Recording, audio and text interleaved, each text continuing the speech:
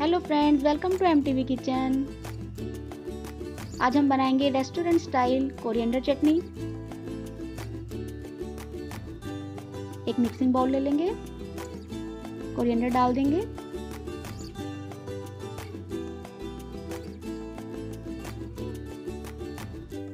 सात से आठ लहसुन डाल देंगे।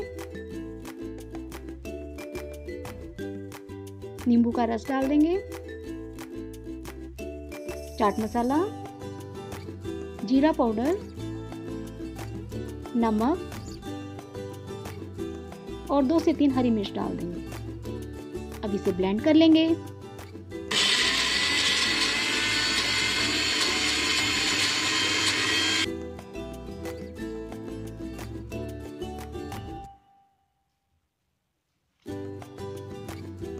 ये देखिए, अब इसमें चार चम्मच दही डाल देंगे।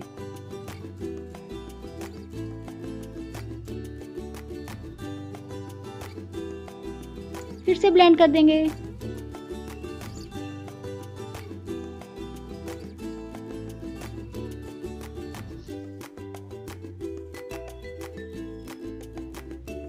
Nice colour it's ready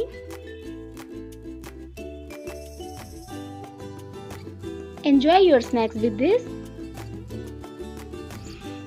Thank you for watching mtv kitchen